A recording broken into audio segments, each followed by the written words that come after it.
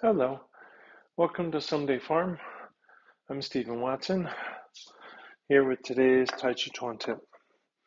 Today's Tai Chi Chuan tip is to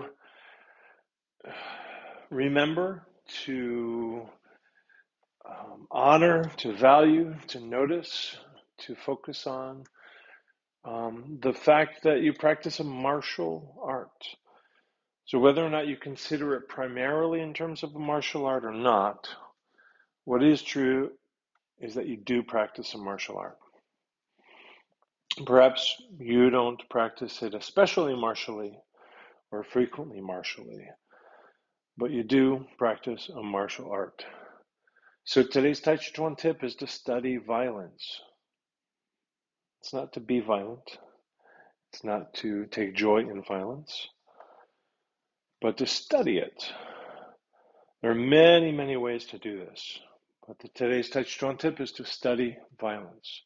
For me, this is quite often taken the form of studying human psychology, but lots of different ways to do it. Um, so make a point of this. This is a big part of the world that we live in, in terms of our art. Maybe it's all encompassing, I don't know.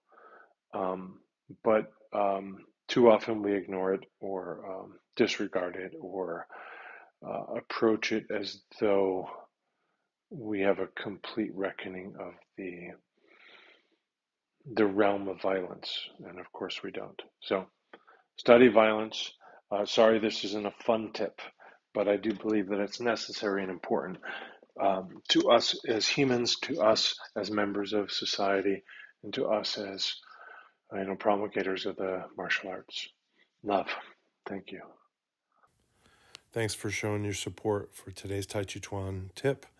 Tips really go a long way. And if you can't afford to help financially, comment, subscribe, share, and like, and all that stuff.